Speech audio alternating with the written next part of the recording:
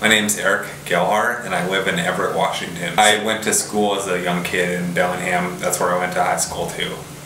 I got sick um, in 2007, and uh, the doctor. I knew something was wrong as soon as the cardiologist held my hand instead of shaking it, and uh, my heart was very enlarged at that time, and a simple chest X-ray showed that.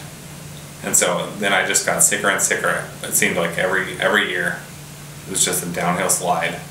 I got the heart transplant October 27th, 2013.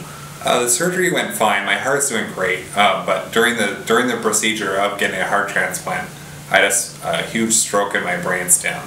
When I had a stroke, it wasn't a traditional blood clot in my vessel. It was all connective and fatty tissue, and so that leads the doctors to believe it came from the heart that I was given.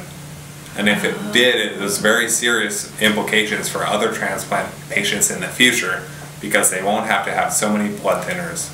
Uh, the stroke kind of overshadowed the heart transplant, you know, but it's, it's been pretty good. I'm, I expect to make a full recovery.